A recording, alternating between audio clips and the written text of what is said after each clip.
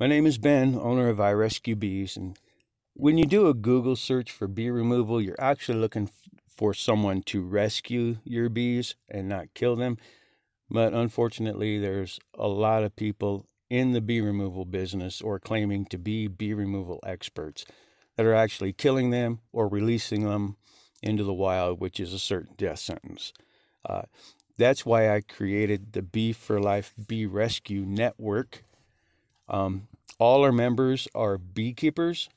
Some are master beekeepers. We comply with all the state laws concerning live bee removal. Um, so if you're wanting to have your bees removed live, you want to use the Bee for Life Bee Rescue Network. All our members, again, are very knowledgeable and experienced, and uh, I know that you will be glad that you used us. Again, that's the Bee for Life Bee Rescue Network.